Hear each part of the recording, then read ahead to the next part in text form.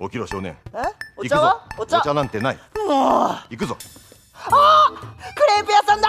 すいません。クレープ2つください。あのおじさんが支払います。うん。俺が払うんだ。タピオカ屋さんじゃないか！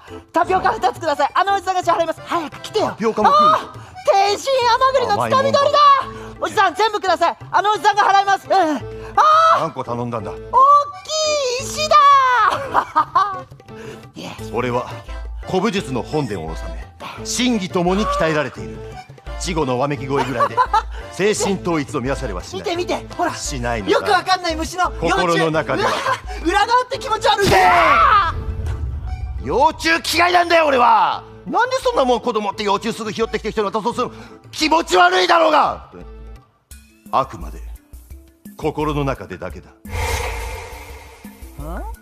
ここは？演劇場？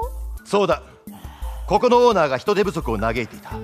今回の依頼を完遂すればお前の雇用程度の無理は聞き入れてもらえるだろう。依頼って？殺人予告だ